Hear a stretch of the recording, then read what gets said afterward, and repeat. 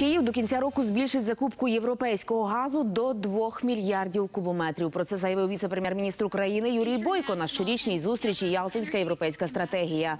За його словами, блакитне паливо з Європи дешевше ніж російське.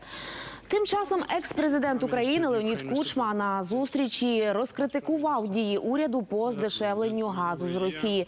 Мовляв, сусіди на це не підуть, а Україна має бути вдячна за те, що Москва стимулює запроваджувати високі технології в енергетиці. Ще один шлях, яким на конференції пропонують піти, забезпечити себе газом власного видобутку. Коли ми увійшли до компанії Нафтогазвидобування, видобуток становив 350 мільйонів кубометрів. А після восьми місяців нашої спільної роботи вже 500. А наступного року плануємо видобувати мільярд кубометрів палива.